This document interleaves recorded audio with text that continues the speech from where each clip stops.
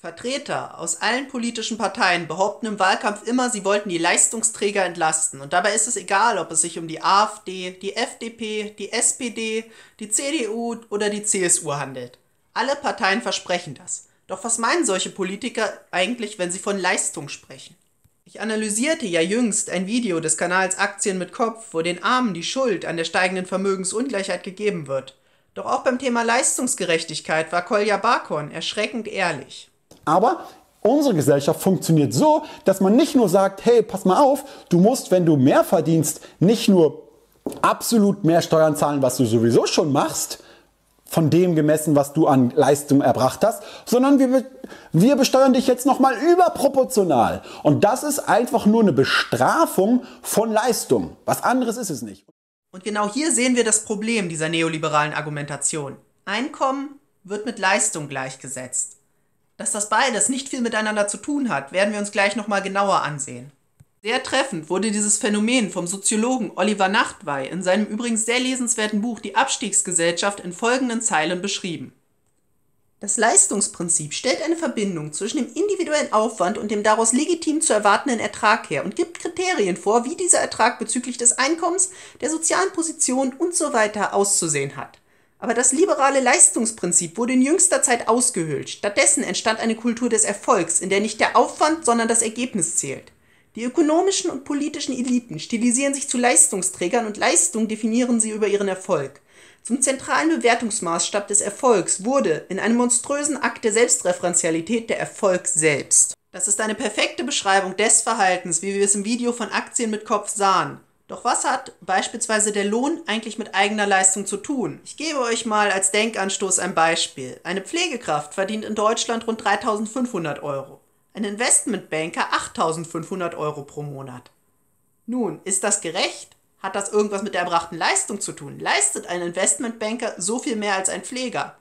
Ich maße mir mal an dieser Stelle nicht an, darüber zu urteilen, inwieweit das gerecht oder ungerecht ist. Doch Neoliberale tun genau das. Sie bezeichnen das als gerecht, weil der Markt bereit ist, diese Löhne zu zahlen. Und hier wird klar, worauf das hinausläuft. Es geht hier eigentlich nicht um Leistungsgerechtigkeit, die mit der eigenen Leistung zu tun hat, sondern um Marktgerechtigkeit, die sich auf Marktergebnisse bezieht. Und genau das ist der Kern dieser Argumentation. Marktergebnisse werden mit Leistung gleichgesetzt. Bei Löhnen ist das nur bedingt vernünftig, wie wir ja gerade gesehen haben, aber bei leistungslosen Einkommen wird es komplett absurd. Für Dividenden, Mieten und Zinserträge hat man schließlich nicht selbst gearbeitet, sondern man hat andere für sich arbeiten lassen.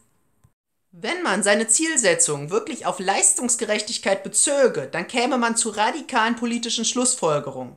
Wenn Arbeitseinkommen in der Spitze mit 45% besteuert wird, wieso sollte man dann Erbschaften nicht doppelt so hoch besteuern oder Kapitalerträge oder Unternehmensgewinne?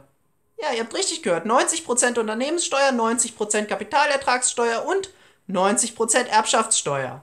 Ich meine, man hat ja für diese Einkommen schließlich nichts geleistet. Andere haben dafür gearbeitet. Also aus der Warte der Leistungsgerechtigkeit wäre das komplett gerecht. Aber so denken Neoliberale ja nicht. Ich hatte es ja schon gesagt, sie setzen Leistungsgerechtigkeit mit Marktgerechtigkeit gleich.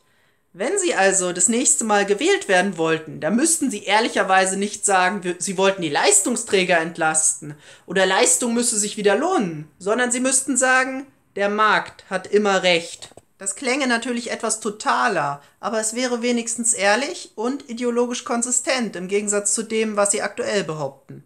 Es handelt sich bei der momentanen Verwendung des Leistungsbegriffes auch nicht um normales politisches Framing, wie es alle Richtungen, egal ob links oder rechts, betreiben, sondern um eine bewusste Täuschung der Wähler. Die Steuer- und Lohnpolitik seit den 70er Jahren hat in Deutschland zu einer immer weiter steigenden Ungleichheit geführt. Dass dies die sozialen Spannungen in einer Gesellschaft fördert, ist wohl selbstredend. Den Teil, den die Ideologie der Individualisierung gesellschaftlicher Probleme zu dieser Spaltung beiträgt, beschreibt Nachtwey wie folgt. Die Gewinner grenzen sich gegenüber den Verlierern ab. Das gehört zum Prozess der Refeudalisierung. Oben kommt es zu einer Sezession der Reichen, welcher die demokratische Nähe auflöst und eine Selbstabschottung befördert. Auf den Unterklassen wartet dagegen ein neuer Paternalismus, der im Kleid der Befreiung auftritt. Der emanzipatorische Überhang der bürgerlichen Epoche löst sich damit immer weiter auf. Dieser Riss im Gefüge der demokratischen Gleichheit bedroht sie als Ganzes, zumal er noch durch einen tieferen sozialen Riss verstärkt wird. den kollektiven sozialen Abstieg. So zumindest lautet Nachtweiß eher düstere Prognose, die er vor nunmehr sechs Jahren aufstellte.